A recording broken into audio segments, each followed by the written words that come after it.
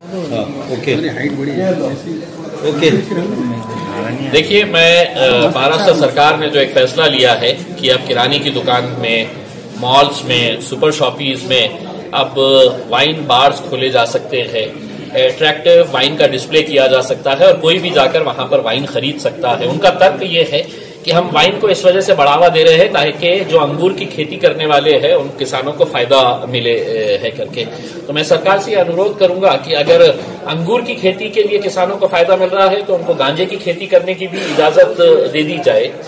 आ, सरकार को ये नहीं क्यों नहीं सूझा कि हम वाइन की जगह है तो किसानों के पास गाय बैल और भैंस भी रहते हैं तो हम वाइन की जगह हम है तो मिल्क बार्स स्टार्ट किए जाए। किराने की दुकान के अंदर, सुपर शॉपी के अंदर है तो हम बहुत अट्रैक्टिव डिस्प्ले करके हम दूध की बॉटल्स रखें और बच्चों को और सभी को दूध पीने के लिए प्रोत्साहित करें। लेकिन ये ऐसा ना करते हुए उनको से पैसे से मतलब है और हमारी पूरी संस्कृति को खराब करने का ये फैसला लिया गया है। तो अब मैं महाराष्ट्र के मुख्यमंत्री आदरणीय उद्धव ठाकरे साहब उप मुख्यमंत्री अजीत पवार साहब और महाराष्ट्र की सरकार, शिवसेना, कांग्रेस और राष्ट्रवादी तीनों को यह चुनौती देखता हूँ कि अगर तुम में हिम्मत है तो औरंगाबाद में एक है तो वाइन बार कहीं खोल के दिखाई करके उसके अंदर। मैं ये ज़िम्मेदारी ले रहा हूँ कि मैं मेरे ज़िले के अंदर ये वाइन बार खोलने नहीं दूँगा।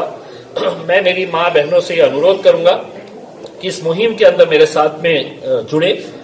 और जहाँ पर भी ये खोलने की कोशिश की जाएँगी या खुलेगा तो उसको फोड़ देने का काम करें। बिल्कुल वहाँ पर चलना नहीं चाहिए करके। और ये पूरे महाराष्ट्र के अंदर सभी माँ बहनों ने रास्ते के ऊपर आकर ये काम करने की ज़रूरत है।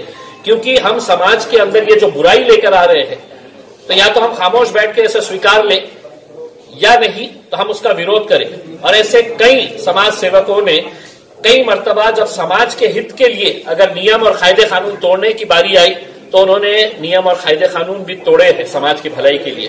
तो हम भी इस भलाई के लिए, हम जहाँ जहाँ पर भी ये वाइन बार्स खोलने का, जो भी सुपर शॉपी या दुकानदार अगर सोच रहा होगा तो तुम समझ लो। कि तुम्हारी खुली वहाँ पे वाइन और हमने वहाँ पे आके फोड़ दिए है फिर हमारे ऊपर जो केसेस होने का है, हम वो केसेस झेलेंगे, क्योंकि हम ये समझते हैं कि ये फैसला बच्चों के लिए ये है कि पहली सीढ़ी है तुमको नशाखोर बनाने के लिए। आज वो वाइन पियेंगे, कल के दिन जाके उनके हाथ में बियर की बोतल रहेगी, परसों वो है तो विस्की लेंगे रम लेंगे, और कहेंगे कि नहीं, इसकी शुरुआत जो है, हमको तो सरकार ने बोली है कि तुम पी सकते हैं करके। ये बहुत ही गलत फैसला लिया गया है, मैं समझ सकता हूँ।